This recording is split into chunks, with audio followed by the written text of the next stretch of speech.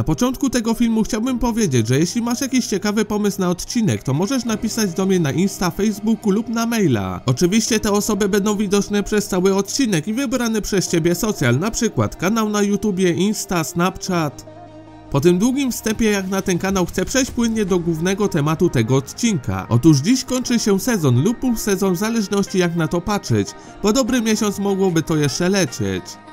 Oczywiście jeśli chodzi o playera, bo w telewizji lecą odcinki do 23 kwietnia. Niestety przez pandemię wszystko się pozmieniało. 28 kwietnia o godzinie 16.50 na TVN7 będą emitowane powtórki 19+, od odcinka 180. Plus jest taki, że jeszcze tam Oscara zobaczymy, choć mogli zacząć od pierwszego odcinka. Nie każdy ma możliwość oglądania na playerze, a ja chętnie obejrzałbym i pewnie nie tylko ja. Co do oceny tego sezonu to jeszcze się wstrzymam, bo nie widziałem wszystkich odcinków ponieważ oglądam powtórki od wtorku do piątku o 16.15. Niektórzy mogą ostatni raz tutaj zaglądać, bo tylko oglądają spoilery, dlatego chciałbym wszystkim podziękować za taką dużą aktywność pod filmami. Życzę wszystkim zdrowia i do usłyszenia jutro lub kiedy wróci 19+.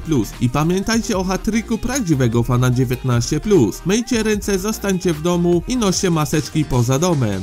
Będziecie czekać na wznowienie emisji 19+?